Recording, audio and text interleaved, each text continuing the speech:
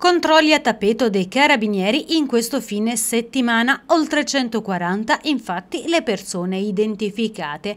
L'obiettivo è quello di garantire una presenza capillare su tutto il territorio al fine di contrastare i reati contro il patrimonio, quelli inerenti allo spaccio di sostanze stupefacenti, nonché limitare l'abuso di sostanze alcoliche tra i più giovani, oltre che far rispettare la normativa anticontagio. Il primo intervento di rilievo venerdì pomeriggio attorno attorno alle 17 ad Arezzo, dove i militari sono intervenuti per un furto in un supermercato, hanno così denunciato una donna e restituito il maltolto all'esercizio commerciale. Durante la notte tra venerdì e sabato poi le 25 pattuglie impegnate hanno identificato 141 persone e controllato 62 veicoli. Sono state levate contestazioni al codice della strada e ispezionati alcuni locali pubblici. Tra molti interventi fatti per disturbo alla quiete pubblica, tre quelli di maggior rilievo, uno a Lucignano in un bar, un altro a Terranuova Bracciolini per una rissa, colpi di bottiglie e sassi